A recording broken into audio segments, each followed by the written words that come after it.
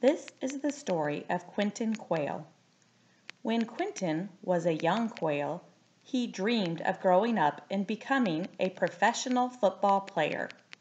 But Quentin was the littlest quail in the neighborhood.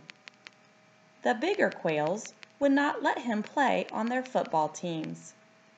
Quentin did not give up. He kept practicing running and throwing footballs. Quentin became the quickest and best quarterback in town. Soon the queen asked Quentin to be the quarterback on her football team.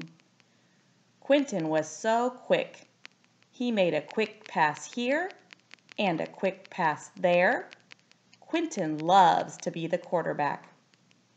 When you see the letter Q, think of Quentin Quail quarterbacking. Pretend to throw a football and say Quentin Quail's sound.